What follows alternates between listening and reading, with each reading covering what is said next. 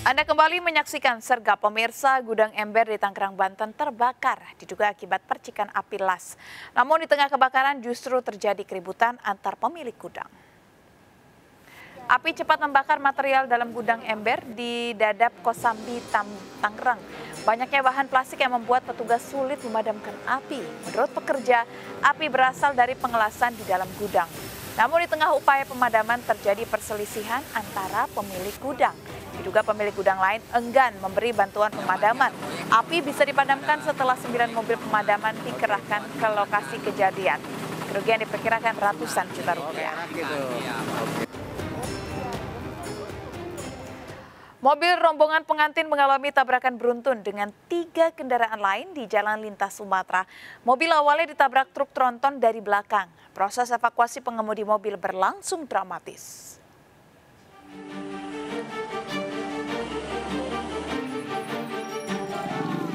Sejumlah warga dan polisi mengevakuasi sebuah minibus yang ringsek usai terlibat kecelakaan beruntun empat kendaraan di Jalan Lintas Timur Batubara, Sumatera Utara. Peristiwa berawal saat mobil rombongan yang akan menghadiri pesta pernikahan di Gunting Saga Ranto Parapat terjebak macet dan tiba-tiba ditabrak mobil tronton dari belakang. Mobil rombongan asal perbaungan ini menghantam mobil di depannya dan mendorong satu mobil lainnya. Depan lagi. Terakhir ya nabrak depan, orang sorong dari belakang. Terakhir ya depan ke tabrak mobil kami, makanya mobil kami sampai penyek kayak gitu. Banyak ya. Terhimpit terakhir kan. Akibatnya minibus yang terjepit pun ringsek. Upaya evakuasi sopir yang terjepit harus dilakukan dengan menggunakan truk. kita kita yang di depan tadi yang jepit di bagian depan Abang tadi sempat terjepit. iya terjepit gak bisa keluar orang pun bingung lari itu ditarik itu tadi bodi yang penyet tadi ditarik sama mobil itu tronton tadi Tiga mobil yang terlibat kecelakaan beruntun dievakuasi Satlantas Polres Batubara. Sementara satu sopir yang kabur dalam pengejaran.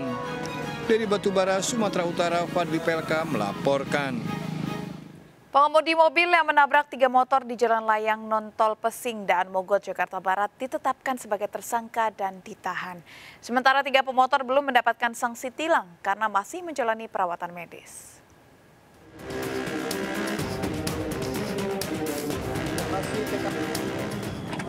Terjadi laka lalin melaporkan terjadi Kepolisian menetapkan AND, sopir minibus sebagai tersangka pada kasus kecelakaan di Jalan Layang Nontol Pesing dan Mogot, Jakarta Barat.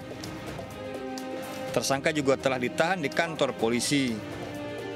Pada kejadian yang diduga disebabkan minibus hilang kendali ini, tiga pemotor terluka, bahkan satu di antaranya terlempar dari jalan layang hingga ke bawah dari ketinggian 8 meter. Namun polisi belum memberikan sanksi tilang kepada tiga pengendara karena masih menjalani perawatan. Kami fokus dulu masalah kecelakaannya, karena ini kan uh, lebih fokus uh, yang mengakibatkan tiga orang luka-luka ya. Jadi untuk pelanggaran lintas nanti kita uh, tentukan lebih luas karena belum ada pemeriksaan terhadap ketiga itu. Pengemudi mobil terancam 5 tahun penjara. Jalan layang nontol pesing dilarang untuk pengendara motor. Dari Jakarta, Miftahul Gani melaporkan. Pemirsa, seorang wanita muda di Wonosobo, Jawa Tengah dibunuh kekasihnya karena menolak diajak berhubungan intim. Pelaku pria beristri yang selama ini membiayai, hidup korban. Mayat korban dibuang pelaku di sungai.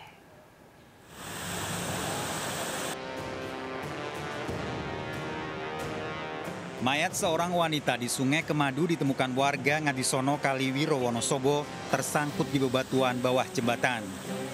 Saat ditemukan tidak ada identitas korban.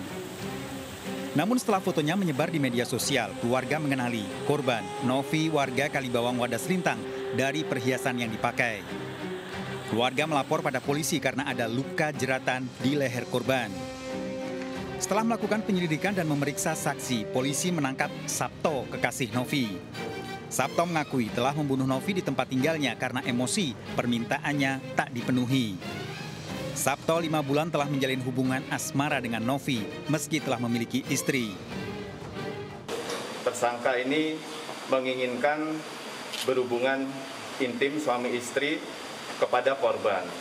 Kemudian korban tidak bisa memenuhi dengan alasan yang bersangkutan sedang datang bulan. Namun demikian, alasan tersebut di, tidak diterima oleh si tersangka.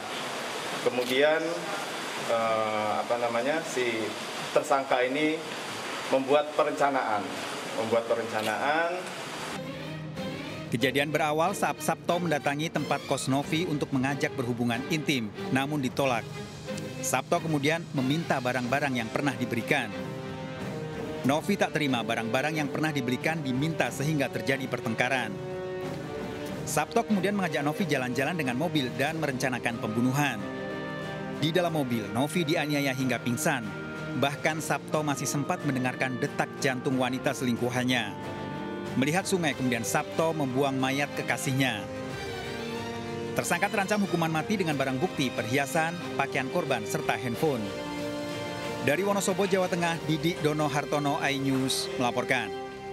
Pemirsa, seorang pencuri jatuh di dapur rumah warga di Cipayung, Jakarta Timur. Pelaku yang belum sempat mencuri, diamuk warga.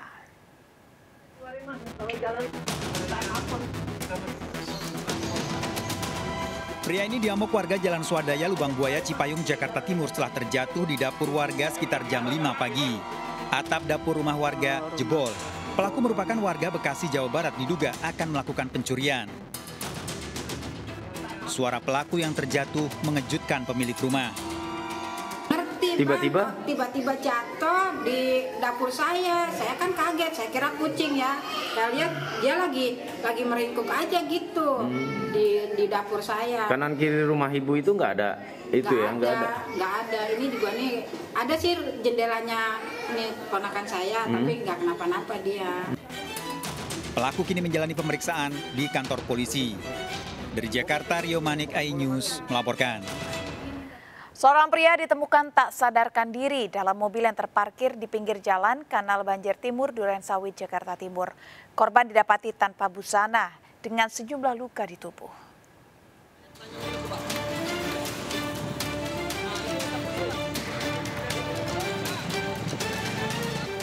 Warga dihebohkan dengan adanya seorang sopir yang didapati tak sadarkan diri tanpa busana di dalam mobil box terparkir di pinggir jalan Kanal Banjir Timur, Pondok Kopi, Duren Sawit, Jakarta Timur.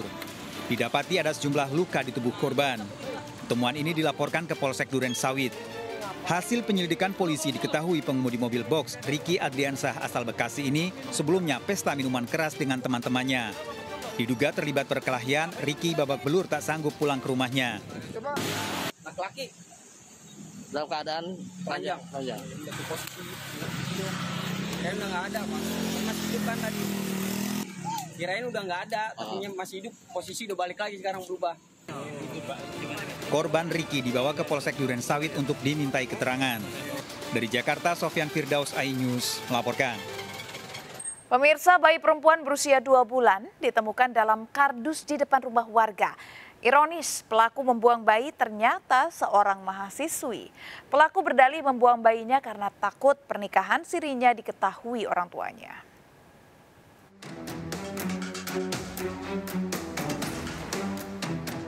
Warga dihebohkan dengan temuan bayi dalam kardus dari sebuah rumah warga di Desa Lampase, Banda Aceh.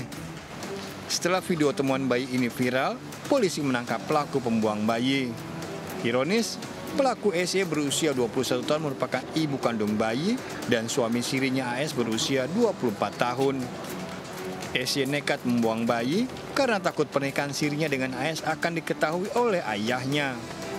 Ternyata uh, keberadaannya kita uh, cek ada di uh, daerah Pidijaya.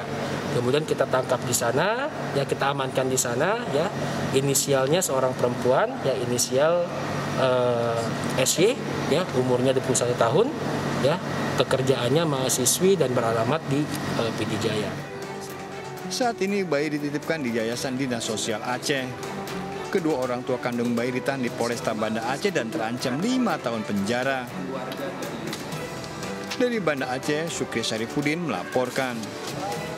Kabur usai menabrak pengendara motor, pengemudi mobil dikejar warga. Pelaku ditangkap saat terjebak macet. Ikuti informasi selengkapnya sesaat lagi. Tetap di Sergap. Baduanya, baduanya, 8 jalan kuda,